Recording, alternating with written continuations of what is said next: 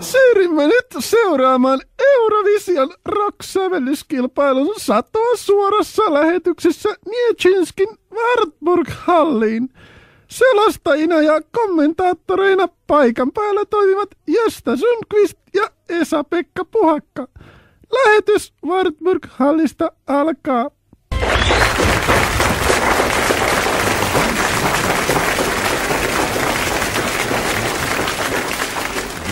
Oikein hyvää iltaa tai dobri večer ja dobranic kaikille kevyen musiikin ja reippaan rokin ystäville täältä Nietzschinskin Wartburg-hallista, joka toimii tämänvuotisen Eurovision nuorisomusiikin festivaalin ja Eurok-tapahtuman pääareenana entisen Itäpreussin ja Volojinskin suuriruhtinaskunnan kulttuurihistoriallisesti arvokkaan, mutta jo pahoin raunioituneen rajakaupungin läpivirtaavan Pepsikolajoen varrella. Tasokkaiden esiintyjien ja arviolta yli 800 miljoonan kuuntelijan lisäksi seurassanne suomalaismenestyksen puolesta jännittävät tällä pääkallopaikalla Josta Sundqvist ja Esa-Pekka Puhakka, eli ehtoota vaan minunkin puolestani ja ennen kuin vahva verenmaku suussa lähdemme lyömään rumpua tai panemaan päivärahojamme likoon mahdollisen suomalaismenestyksen puolesta on syytä siirtää lähetysvastuu varsinaiselle estradille, missä järjestäjien bukkaama parduvialainen drag show-ryhmä Zastava näyttää jo olevan valmiina esittämään kilpailun ulkopuolella oman tulkintansa status quo yhtyen miljoona hitistä Rockin All Over the World. Minkä jälkeen pääsemme sitten itse asiaan, kun varsinainen kilpailu alkaa. Ja juontaja Miroslav Motusevicin ilmeistä päätellen Chastava ryhmän playback-esitys on vaikeuksista huolimatta alkamassa itse asiassa juuri nyt.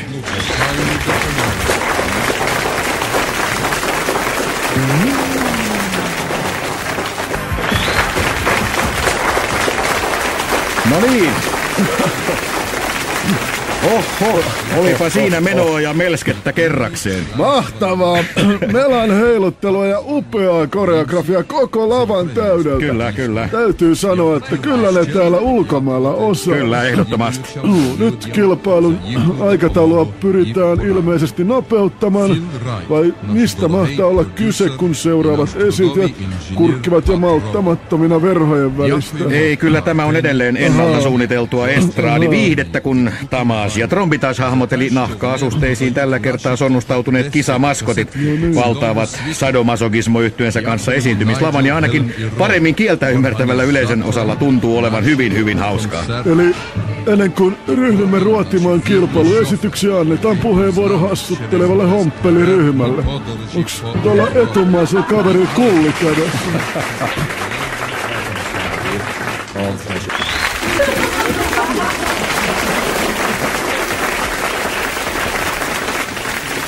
Eli näin siis Tamas ja Trombitas yhtyeineen ja nämä hassunkuriset ja velmut kaverukset ovat ainakin täällä kotimaassaan ilmeisen suosittuja hauskuuttajia, joskaan eivät ehkä suomalaiseen makuhermoon iske aivan samalla tavalla. Vai mitä mieltä Esa-Pekka tai Essi oli äsken kuulusta ja nähdystä esityksestä? No, tykkäsinkö hullu puurosta tietty, että No niin. ehkä se perheen pienimmille oli aika rohkeeta.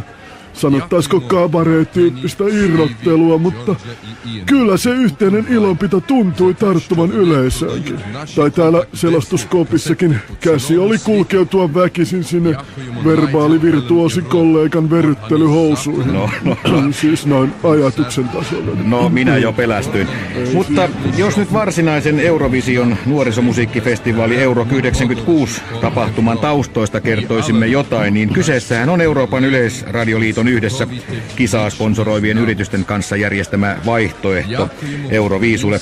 Vaikkakaan mistään varjoviisuista ei välttämättä ole kyse, koska mukana on monia nimekkäitä esiintyjiä aivan sieltä kansainvälisen viihdemaailman huipulta. Kuten esimerkiksi ensimmäisenä esiintyvä ukrainalainen radioaktiiva Bolomje eli säteilysairaus yhtye, jonka kantaa ottavan Politskuje Veronji-laulun kertosäkeessä osuvasti todetaan, me emme tätä tahtoneet toisin kuin ne, joiden tarkoitusperistä ei pirukaan ota selvää. Laulun on säveltänyt entinen maineikas kymmenottelija Havas Genmaratse ja sen on sanottanut poliittisen doktriinipalkinnon kotimaassaan tänä keväänä tehtävänä saanut runoilija ja vanerikombinaatin työsuojeluvaltuutettu Valeriana Velozovskaja, joka haastattelussa kertoi isoäidistään, jonka oikean jalan iso varvas on mustunut ikuisiksi ajoiksi uraanimalmirattaiden ajettua isoäidin jalan ylitse. Tässä siis radioaktiva Bolomie yhtyö ja Politskuje Veronji eli kilpailukappale numero yksi.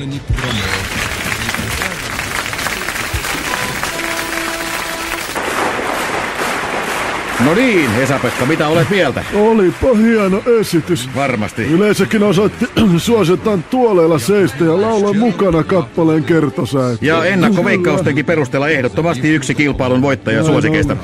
Kokonaan toisenlaisin eväin on liikkeellä meille suomalaisille aina yhtä rakas läntinen naapurimaa Ruotsi, jonka kilpailukappaleen Tenda Povaran esittää lauluduo Jörgen Jesse. Omien sanojensa mukaan jo kaiken kokenut ja kaikkea kokeilut kehäkettu Jörgen Mandarin muistetaan Suomessakin suosiota saavuttaneen TV-sarjan pitsiä ja poikaystäviä surusilmäisenä Börjenä, joka haaveli laulajan urasta ja päätyikin itseään huomattavasti vanhemman levyyhtiön tuotantopäällikön tukeville käsivarsille ja kainaloon ano. Halin Alleksi, kuten duon toinen jäsen vasta 11-vuotias Jesse Jakobson elävässäkin elämässä.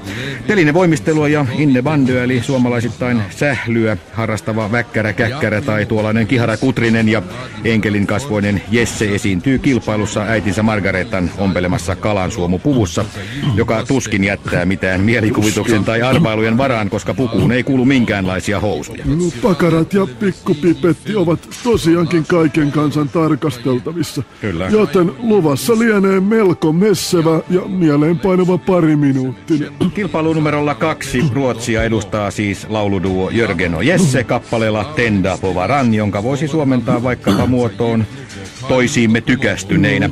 Tiedätkö Jesse, miten muuten saunassa erottaa ruotsalaisen yliluutnantti luutnantista? En. No, sorkka raudalla.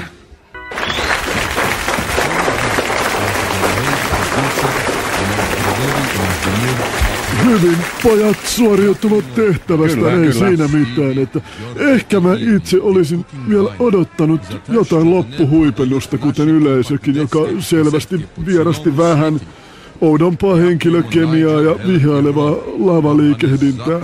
Kaiken kaikkiaan koreografia oli kuitenkin kiitettävän hiotun tuntusta. Että, Joo, kyllä. Eli sitä oli kyllä hiottu ja hinkattu. Itse kilpailussa seuraa nyt lyhyt tekniikan vaatima tauko, kun koko lavan valaistus ja tuollaiset pinkopahvista valmistetut lavasteet laitetaan uuteen uskoon. Eli me Essin kanssa kipaisemme hakemaan kioskilta vaikkapa kahvit sillä välin, kun Pasilan ja radiomafian rutinoituneet ääniräätälit ja tekniikan tuhat taiturit, eli vanhemmat äänitarkkailijat Airin, Karin ja Joren johdolla nimenomaan taikovat teille kuin tyhjästä jotain tilanteeseen sopivaa musiikkia äänilevyltä, eli Pasila, olkaa hyvä. Zero Luotola tässä haudi. Jörnimisen jälkeen toisiksi parasta ajanvietettä taitaa olla Radiomafian koe-eläinpuisto-ohjelman kuunteleminen. Ja jos mä satun ole yksin, niin mä saatan tehdä sitä yhtä aikaa. Tätäkin ohjelmaa sponsoroivat Letkuliitin keskus Oy, miesten asusten valmistavo ja pukuvuokramo R. Aaltonen sekä Siementukku Järvinen ala Tikkurilasta. Radiomafia kiittää.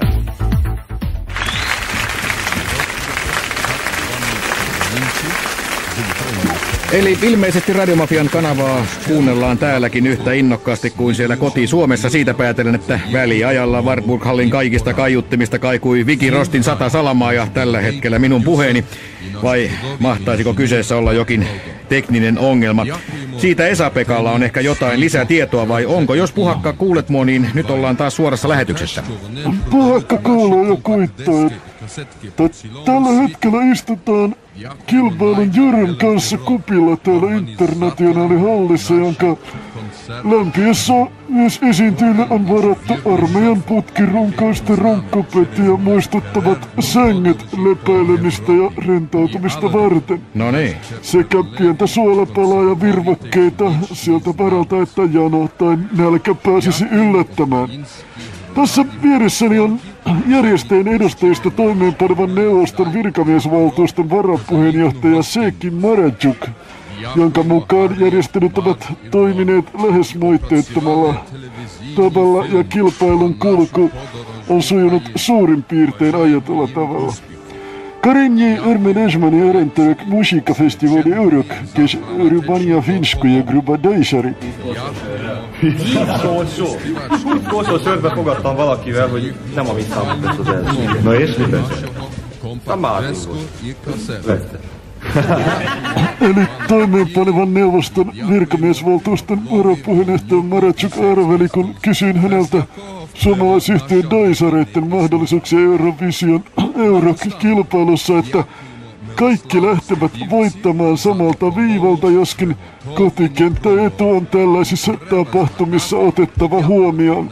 Ja tuo etu on tällä kertaa ukrainalaisella ja Nietsikin vapaakaupunkia edustavalla upea-äänisellä ykköstenorilla Joran Stebanovilla, joten suomalaisten mahdollisuudet menestyä ovat suhteellisen heikot. Mutta koska me seuraamme kilpailua mustavalkoisista TV-monitoreista täällä Internationaalihallissa, niin josta voisi kertoa varmasti värikkäämmin tapahtumista itse kisapaikalla.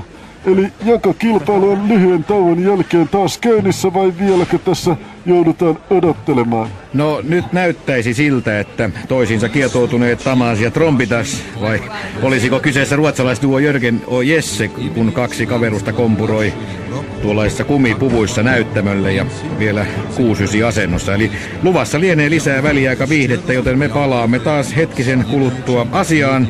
Nyt siis kisamaskotit Tamas ja Trombitas.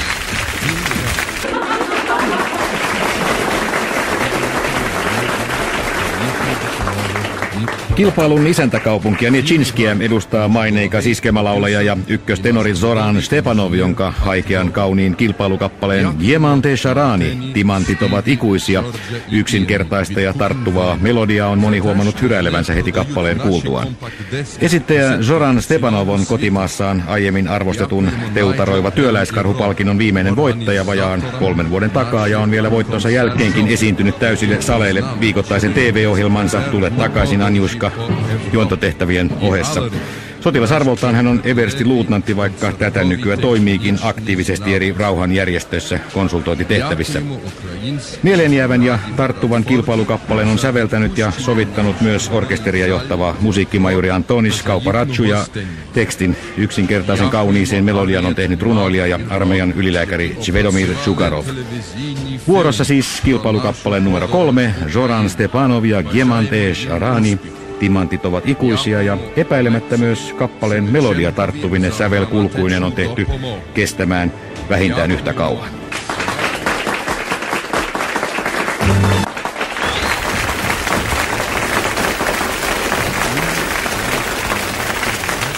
Kerrassaan komea esitys, jolle yleisökin antaa raikuvat suosion osoituksensa seisten, mutta miten käy, kun seuraavaksi lavalle astuu suomalaisesta kansanmusiikkiperinnöstä ideansa ammentava Daisarit-yhtye.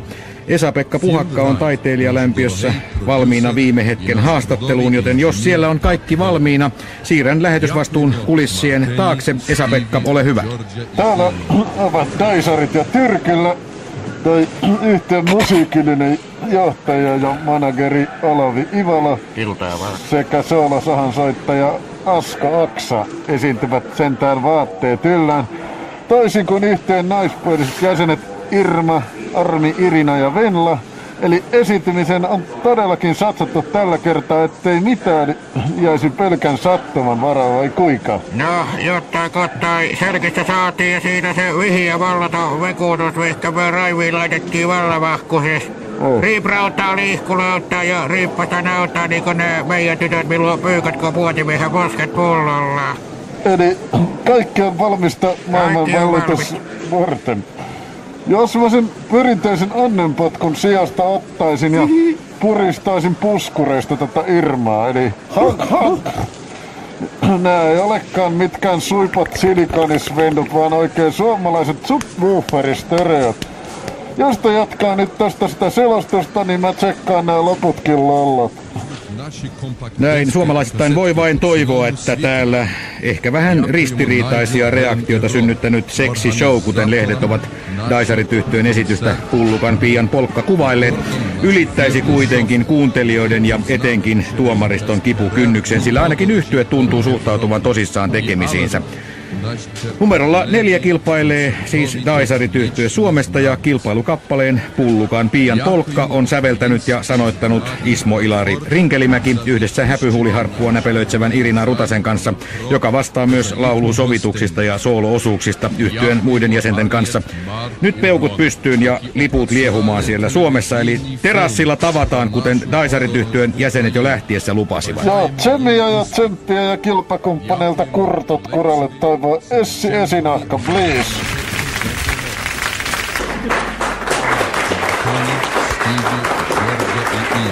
No niin, nyt se on nyt ohi, ehkä onneksi.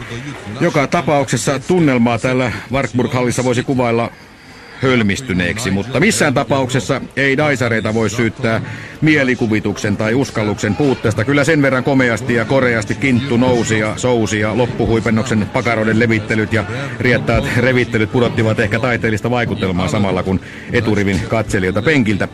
Nyt vain jäämme jännittämään, miten tässä kisassa käy ja kuinka tuomaristo tällaiseen tavaratarjoiluun suhtautuu, kun Estraalille astelee jo kilpailu numerolla viisi kisaan osallistuva saksalais-amerikkalainen Junkers and Joystick teknoryhmä, joka esittää Helmut Hofstedtin säveltämän ja sanoittaman lähes seitsemän minuuttisen sävelteoksen Orfeus Manalassa. Ja ainakin ennakkoesityksen perusteella luvassa on runsaasti paljasta pintaa, joskin ehkä vähän jalostuneemmassa muodossa, sillä yhtyen kaikki jäsenet ovat varsinaiselta ammatiltaan malleja ja mannekiineja, toisin kuin Daisarit yhtyen rehellisen rintavat reitevät ja persevät piikatytöt Palkojärveltä. Mutta nyt pääsemme siis seuraamaan, mitä Orfeukselle tapahtui Manalassa, eli kilpailukappale numero viisi, esittäjänä Junkers and Joystick. No niin, mä melkein tykkäsin tästä enemmän kuin Daisareista. Vai niin? Mikä tietysti tuntuu pahalta sanoa ääneen. Ja Näin suomalaisittain kyllä joo. vielä parempaa taitaa olla luvassa, vai missä vaiheessa se Margarita Bragatan esiintyy? Tää Espanja vai oliko se Italia? Ei nyt mennä, ei nyt mennä Essi asioiden edelle. Seuraavana ainakin tämän virallisen esiintymislistan mukaan lavalle astuu iloinen irlantilaispoppo, eli luvassa on aitoa irkkumeininkiä. Eikä sitä orkkumeininkiä, No ei. mistä mä puhun. Ei, ei vielä. Irlantilaisyhtiö O'Malley of the Valley on kotoisin Dublinista ja kilpailukappale numero kuusi on nimeltään Slippery Sliding, eli miten se nyt suomentaisi? No, vaikka fiilata ja höylätä. No vaikka. Vai olisiko se liukkaasti lipsutella? No siitä pidetään kiinni, eli kappaleen liukkaasti lipsutellen on yhtiö yksissä tuumin säveltänyt, sovittanut ja sanoittanut. Orkesteria johtaa Paddy O'Malley, joka myös esittää kappaleen puolivälissä huikean lusikkatanssin, josta radion kuuntelijat valitettavasti jäävät äänitehosteita lukuun ottamatta paitsi. Mutta nyt siis Irlannin edustussävelmä liukkaasti lipsutellen ja O'Malley of the Valley kansanmusiikkiyhtyö. Esityks nekin jumalauta Katoppa se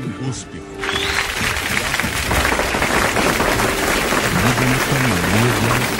Eli näin kertakaikkisen upeasti taittuivat taiturimaiset tanssiesityksetkin kansanmusiikkiyhtyö O'Malley of the Valleyn pelimanneelta. Ja nyt on luvassa sitä Essin tai Esa-Pekan kaipailemaa Espanjan herkkua, kun numerolla seitsemän kilpailee pitkän huiskea ja sorjasäärinen katalonialaiskaunotar ja karaoke kuningatar Margarita Bragatan, jonka kilpailukappaleesta voisi mainita sen olevan taattua Lennon McCartney-tuotantoa, eli herrat The Beatles yhtyeen lukemattomien hittien takaa, vaikka musiikki Margaritan esityksessä onkin täysin taka-alalla ja toisarvoisessa asemassa, jonka miljoonat ja taas miljoonat television katselijat ympäri maailmaa varmasti allekirjoittavat meidän kanssamme.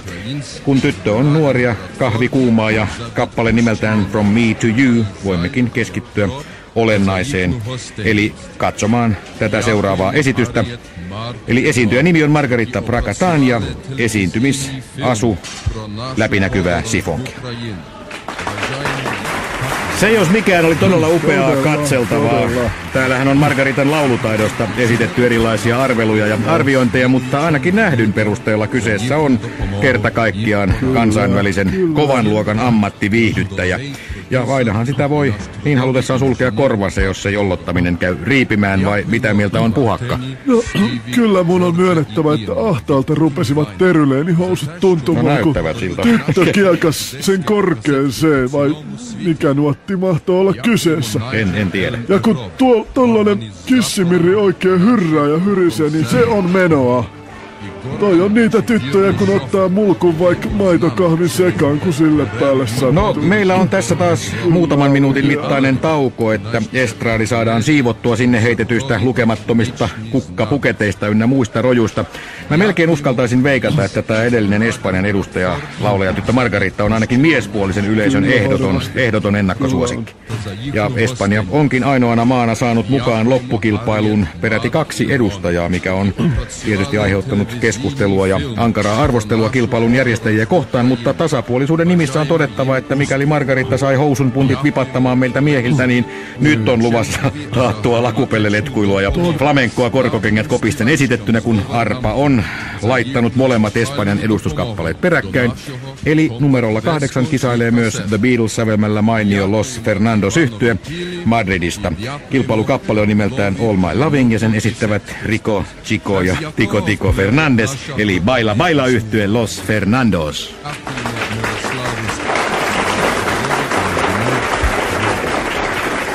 No, sellaista keskimittaista 160 senttistä siltainsinööriä. Sinäkö sen tiedät? Mm, tai niin hänen väittävät, vaikka totuus olisi toisenlainen. Että et sinä Esa-Pekka vaan olisi kateellinen näille karambaa-kavereille. No, siitähän tässä on viime kädessä kysymys, totta vitus. Mutta hyvin svengaavasti ja mutkattoman tuntuisesti rullasi espanjalaisen rumban muotoon sovitettu All My Loving vai mitä?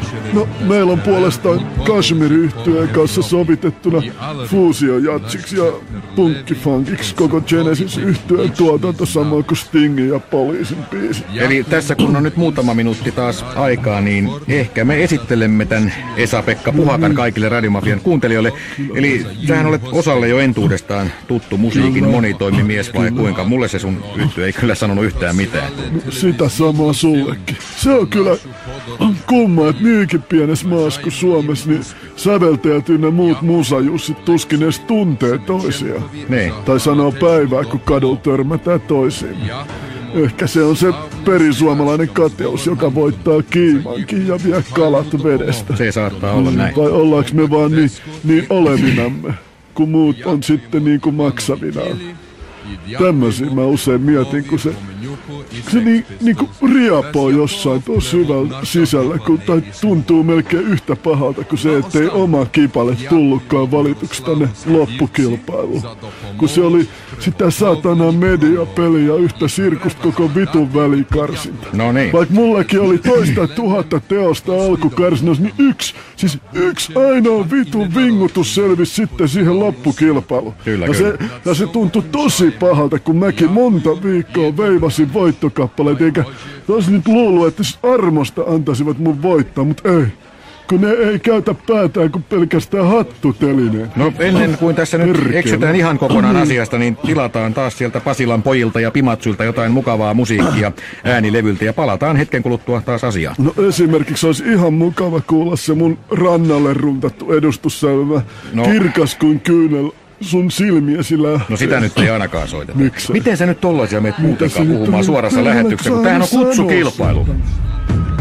Tätäkin ohjelmaa sponsoroivat Letkuliitin keskus Oy, miesten asusten valmistavo ja pukuvuokraamo R. Aaltonen sekä Siementukku Järvinen ala Tikkurila. Radiomafia kiittää. Onko siinä koe? On! Onko siinä eläin? On! Onko siinä puisto? On! Mikä se on? Lauantaisin kello 18.20 Radiomafian kanavalla Koeläinpuisto.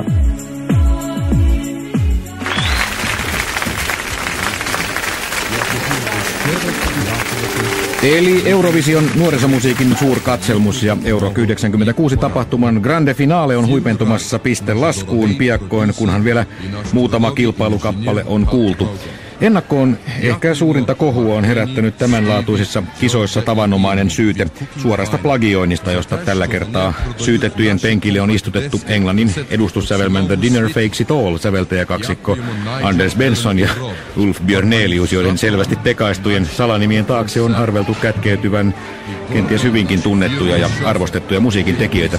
Kappaleen esittää erehdyttävästi jo edesmennyttä ABBA-yhtyettä muistuttava kvartetti Abracadabra, jonka taanoinen tanssihitti Fancy Queen käväisi viime syksynä Englannin diskolistojen kärjessä, vaikka kuulosti myös hyvin, hyvin tutulta.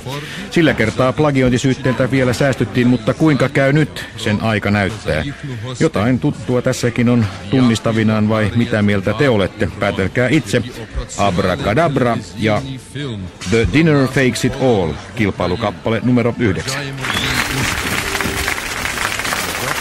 Siis ihan selvä rollareitten biisi. Rollareitten? Vai oliko se Bonien vai Pakkarasen tyttöbändi? Lähinnä kai Abbaa tässä on veikkailtu. No mä veikkaan, että tästä tulee oikeusjuttu ja korvaukset liikkuu kymmenistä sadoista miljoonista dollareista tai punnissa. Jaha. Nämähän on yleensä aika kinkkisiä tällaiset plagiointisyytteet.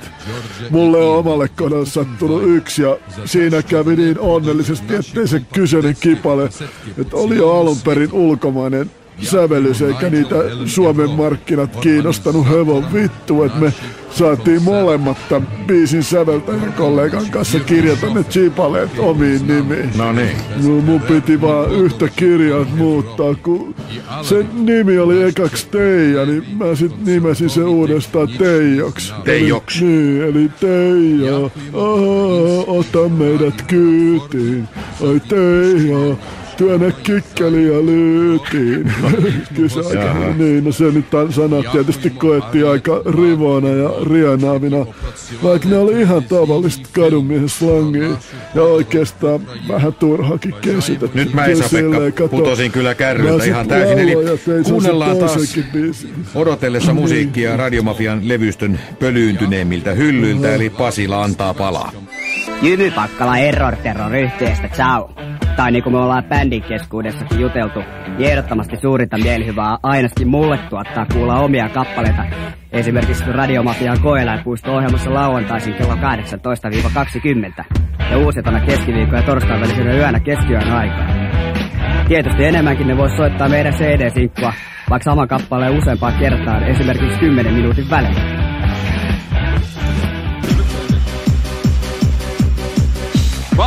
Mahtava meno, tiukka etukeno, herkällä tatsilla, rumpusatsilla, jee jee jee.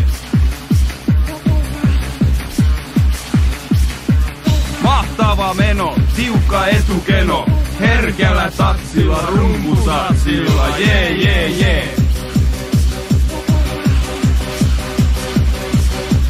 Mahtava meno, tiukka etukeno, herkällä tatsilla, rumpusatsilla, jee jee jee.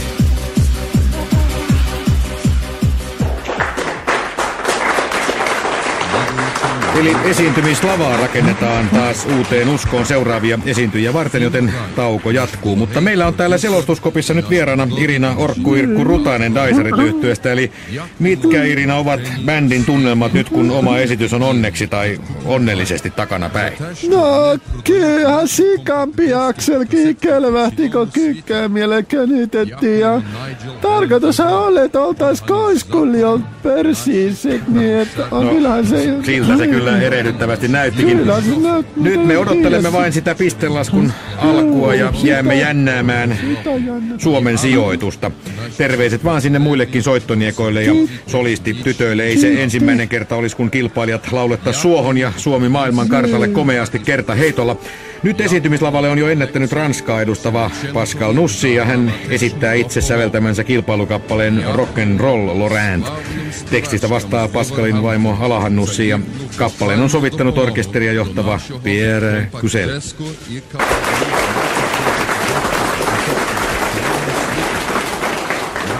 Ihan mallikkaasti rollas rock'n'roll patongin purjalta kyllä. ja sammakon syöjät. No niin. Mm, Sanoja kun ei ymmärtänyt, niistä on ihan paha mennä sanomaan mitään. Ja kilpailu etenee nyt odotettua vauhdikkaammin, kun tekniset vastoinkäymiset on voitettu ja vaativat lavastukset taas tukevasti paikoillaan.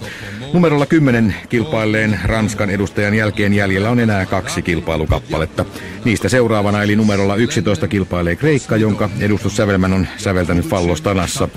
Ja näin suomalaisittain mielenkiintoiseksi sen tekee jo kappaleen nimi Mesta Diottis Mattia, eli Mesta tuntuu autiolta ilman Mattia. Keskustellessani laulun esittäjän Afrodite Marabuun kanssa hän kertoi itse antaneensa aiheen laulutekstin, josta Jannis Patukka viimeisteli valmiin sanoituksen, jonka nyt siis kuulemme. 46-vuotiaan Afroditten mukaan Matti oli luvannut tulla valkoisella ratsulla noutamaan hänet kaukaiseen kotimaahansa, missä miehet heltyvät tunteilemaan vain humalapäissään, mutta syvällä sydämessäni säilytän hänen kuvaansa, sillä mesta tuntuu autiolta ilman Mattia ja muita meluhaittoja.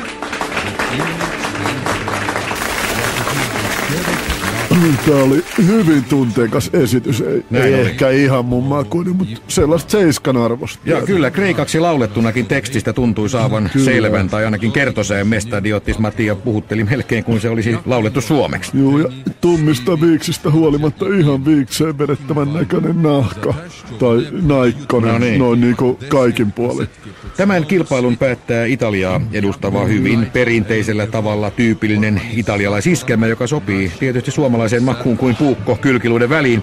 Laulun esittää Stefano Stiletto ja sen on säveltänyt myös Euroviisuihin säveltäjänä osallistunut Luigi Lipetti, joka yhtyessä kanssa kierteli myös Suomessa joskus 60-luvulla. Kilpailusävelmä numero 12 on nimeltään Notte di Luna Calante, jota en uskalla vajavaisella italian kielitaidollani edes yrittää suomentaa. No se, se kertoo yöstä ja kuusta ja kullin lutsutuksesta, niin kuin italialaiset No niin, tämä, yleensä. tämä selvä, eli annetaan Stefano Stiletton lutsutella tai Kyllä. leperellä lemmestä. Teksti on lähtöisin Isabella Avantgarden kynästä ja Isabella itse laulaa taustakuorossa kahden siskonsa kanssa, josta toinen näyttää Kyllä, erehdyttävästi mieheltä vai olisiko kyseessä parrakas nainen? Eli näin kaikki 12 kilpailukappaletta on sitten kuultu. Ja nähty. Ja tuomaristo ryhtyy ratkomaan paremmuusjärjestystä, mutta on sanomattakin selvää, ettei tehtävä ole aivan sieltä helpoimmasta päästä. Me kuuntelemme taas musiikkia äänilevyltä, koska nyt tuntuu siltä, että mulla on kohta kupla otsassa. Vai oliko Essillä jotain tähdellistä sanottavaa kaikille Radiomafian kuuntelijoille? Arvatenkin tuomariston työ vaatii lisää aikaa, joten me saamme seuraavaksi nähdä entisen Itäpreussin keisarillisen ratsuväkirykmentin esittämänä Hölsenmeierin pukkihyppyparaatin ja esteratsastusesityksen ilman hevosia. Ja musiikkina soi otteita teoksesta Polle Koninkaulus ja Kylmä talvi pelkissä kumisaappaissa, jonka on säveltänyt Nikolai Kopelo. Ja kerrottakoon väliaika tietona, kun kolmas osa tuomariston antamista äänistä on laskettu, että tällä hetkellä Suomi on jaetulla viimeisellä sijalla yhdessä Ruotsin kanssa, mutta aikaa on. Aikaa on vielä vaikka mihin. Kyllä. Nyt näyttää Ruotsikin jo saaneen ensimmäisen ja luultavasti ainoan pisteensä. No nyt näyttäisi kyllä siltä, että Suomi jäisi yllättäen viimeiseksi tässä kilpailussa. Tällä hetkellä ääniä ovat eniten saaneet Espanjan upearunkoinen Margarita Bracatan ja ukrainalainen rock yhtye Radioactiva Bolomje, kun äänistä on laskettu jo yli 95 prosenttia ja viimeisiä ääniä lasketaan paraikaa ja sieltä tulevat vielä nuo puuttuvat pisteet, joten voittaja on neljän pisteen turvin Radioactiva Bolomje eli säteilysairausyhtye Ukrainasta. Ja me kiitämme Esa-Pekka Puhakan kanssa kuuntelijoita seurasta. Kun jäljellä on enää voittajien palkintojen jako, voimme todeta, ettei nyt ihan tuubiin mennyt tälläkään kertaa kisa näin suomalaisittain. Onnea kuitenkin voittajille, kuten tällaisissa kilpailutilanteissa rehdisti on tapana toivottaa. Estradille lentää kukkia ja suklaa rasioita ja tukkuseteleitä, kun radioaktiiva Bolomje valmistautuu esittämään voittajasävelmän vielä kertaalleen Wartburg-hallin hullantuneelle kotiyleisölle. Meidän puolestamme näkemiin, kuulemiin ja moi! Hoidon.